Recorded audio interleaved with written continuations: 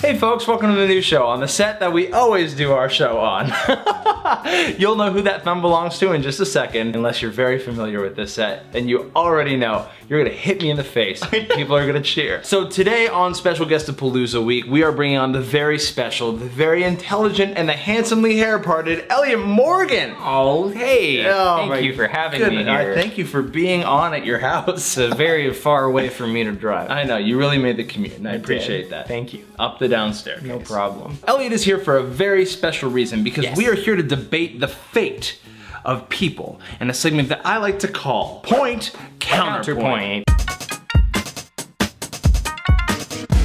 Was an article I saw that said that anti-vaccine nuts are using Halloween candy to spread propaganda by slapping stickers on the back of the Reese's. So, is that okay or is that not okay? Ready? Point counterpoint. Point counterpoint, he said. Point, I say, yeah, absolutely. If you want to like put anti-vaccine information on candy, why not? Because the last thing I remember when I had Halloween candy was what the wrapper looked like, and I'm certainly not gonna read that crap. If I want candy in my body, I'm gonna put the candy in my body. Counterpoint, you're already putting candy in your body and you're over here judging me saying something that I shouldn't put something else bad for me in my body. If you're, that's like labeling cigarettes by saying that, oh, you shouldn't shoot heroin. It's both awful things, but you're doing, you're mixing it up. Boy, that drink is You're really not mixing. Yeah, I don't know what you're talking about. Secondly, here's the problem. I don't know if you guys have heard of the population explosion as of lately, but this whole planet has too many people on it. So worst case scenario, people don't get vaccinated and the population decreases and we solve a whole lot of problems. Counterpoint, Ebola's going on and it's less about killing people off and more about spreading fear and mongering that kind of stuff. Absolutely. Here's the problem. Ebola and the panic associated with it is part of a conspiracy theory that Obama is using to get elected for a third term.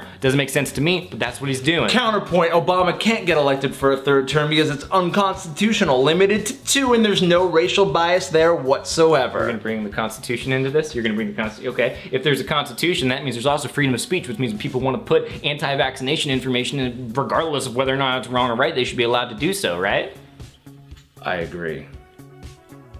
Let me, I have one more extra Yeah, yeah, point no, counterpoint please, to make. There's this whole trend going on where people only do things if it's like backed by science and research, but sometimes I think if something sounds scary, you should totally just go that way too.